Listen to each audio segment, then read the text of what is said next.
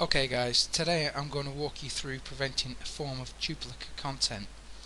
Now you might be thinking, I don't have duplicate content, there's nothing to worry about. I can assure you that this is something you should consider. Also in terms of um, PageRank, this will improve your PageRank. Now as you're aware, I'm just going to write this on the screen for you so you can see more clearly. We have two different types of indexing Google and other search engines will index both versions. So we might have www.yoursite.com and we also have the straight HTTP yoursite.com. Both will work in browsers. However, Google might find this version and index it. Now through linkbacks it might find this version and see both as competing as separate websites. How do we, we prevent this? Well, we use this little bit of code here. I will copy and paste it on, on the um, page so you can just highlight and whip it in and, and uh, get cracking straight away because I do want you to use this on your own site as soon as possible. It is quite important that you sort this out.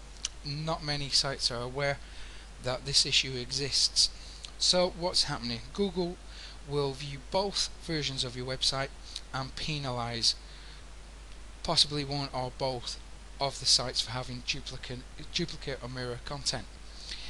It will also affect your page rank. So you can imagine if you have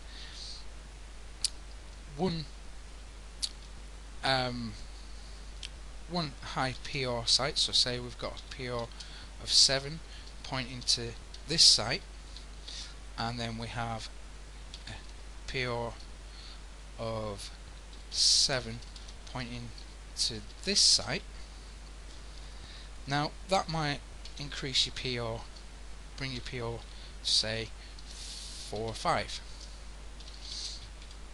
and again it might bring your PR to 4 or 5 however if we have both pointing to this website this version of your site what's your PR going to be? It's going to be a 6 or a 7. Okay, I hope that's enough incentive for you to take action on this and make the changes that you need right now. Okay, so this is the code we need. The bit that matters to you is this little bit. So as you can see here, I've used one of my websites, getmoresales.info, and again, we've put getmoresales.info here. And what this is doing is making sure that no matter what what is linking to our site or how a search engine finds our site we will always serve up the www version of your site. Straightforward stuff. Okay. So copy and paste this into notepad. We want to save it as a .htaccess so we go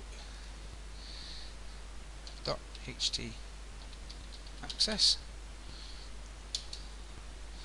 Yep. Okay. And now we head over to our FTP software. And here you can see we have our .htaccess file. This is the um, public directory. There's not a lot on this site at the moment. So I'm just going to upload and there we can see it on the server. Okay I hope you've enjoyed this little tutorial. Um, do take action. If you want to know some more uh, tips and tri tricks like this which will undoubtedly help your website and generate more sales do check out my course. It's available at getmoresales.info and I will see you next time